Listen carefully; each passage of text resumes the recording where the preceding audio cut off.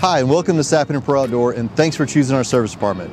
We're excited to announce a brand new service check-in and service drive. Let me show you how it starts.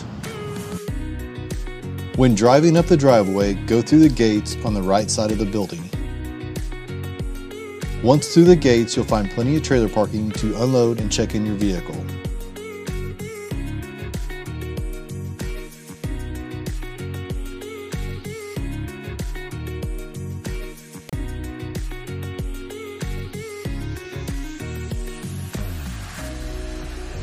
From there, please go through the door in the back corner to find your helpful service riders ready to meet your needs.